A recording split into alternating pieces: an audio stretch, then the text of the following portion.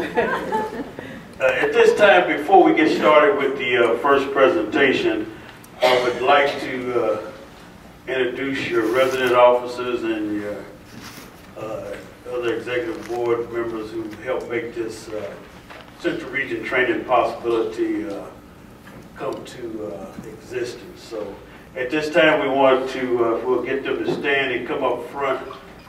President Louis Atkins.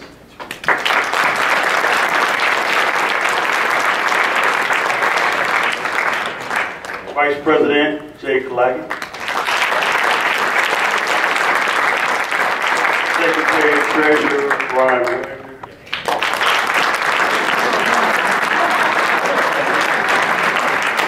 Illini Air VP Nancy Weston.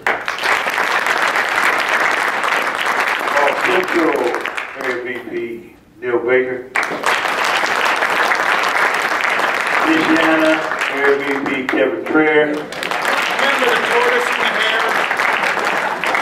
And last but definitely not least, Mink Air Vice President Larry Young. In